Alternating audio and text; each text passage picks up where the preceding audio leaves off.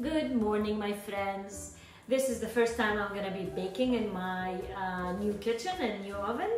Uh, I thought I would start uh, with uh, pineapple upside down uh, since cherries are in season and that's uh, part of the pineapple upside down.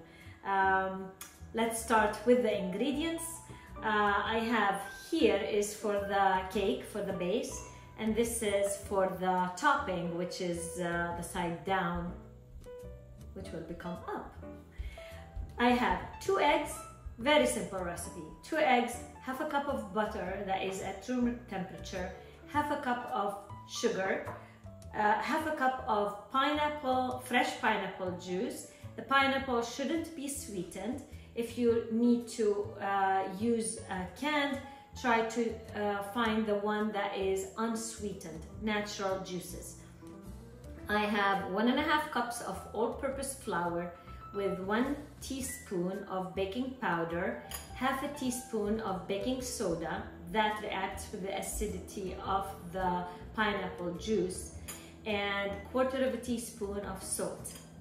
Now for the topping, uh, which will be um, the side down in the beginning in the pan. I have quarter of a cup of butter, which I'm gonna melt with half a cup of brown sugar.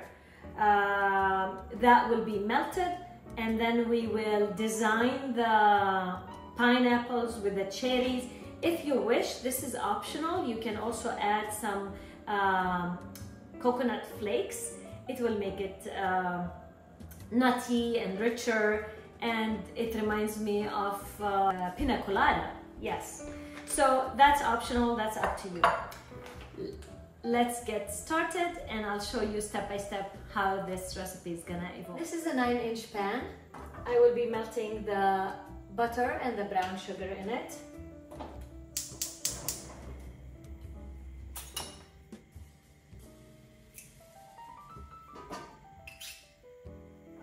Melt the butter low heat. As soon as the butter is melted, add the sugar.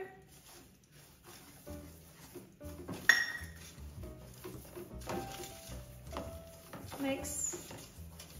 Turn off the heat. Spread this mixture uh, evenly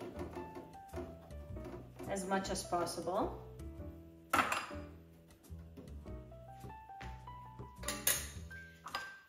And now um, put the pineapples. I start in the middle. I'll put this and then go around.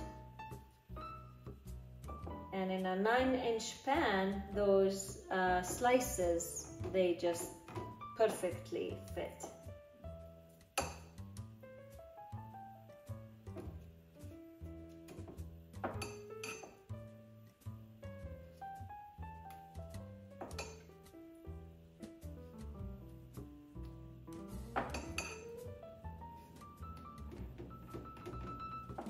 Now I'll add the cherries.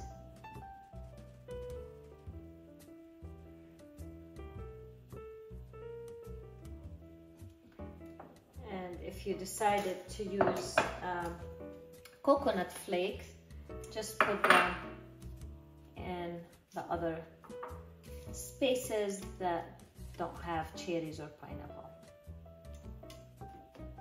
And if you have it on top of the pineapple, it's okay from this side because this is gonna be upside down and the side that is at the bottom is not gonna have anything to disturb the uh, look of the pineapple.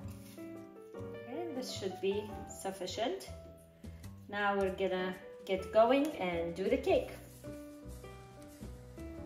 Let's start with the batter. I will add the room temperature butter with the sugar.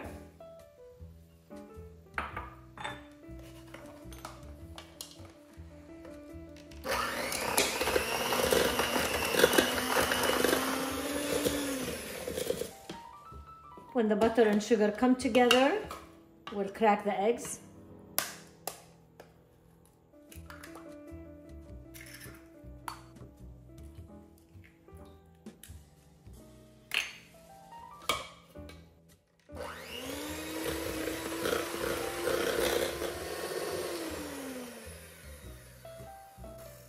After you mix really well, we will add the flour and the leveling ingredients. Mix it a little bit.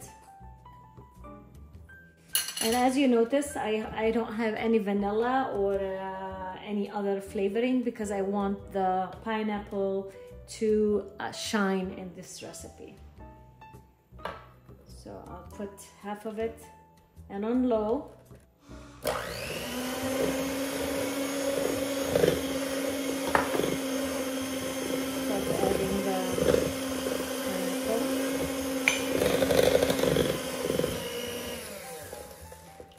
half the flour and half of the pineapple in and now the other half and I will be pouring the pineapple as I'm going.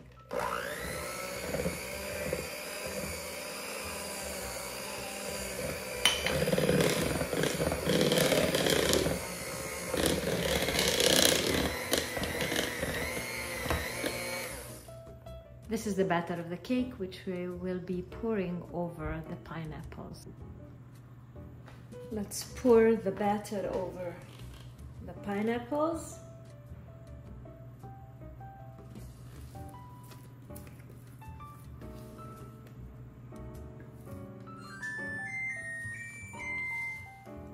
That's my oven telling me that it's at temperature 350 degrees so I can bake my cake. And as you saw, I haven't prepared the pan with any butter or anything since we melted the butter in it and it prepares itself, I guess.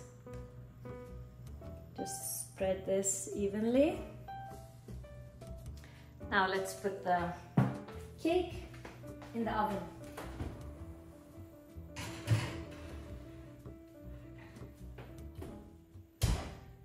About half an hour.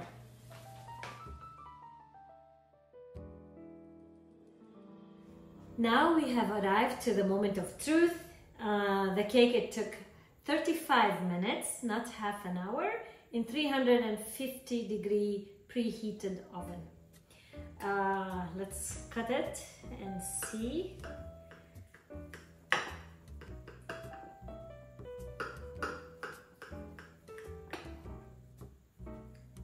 It uh, feels moist and wonderful. Soft. Two.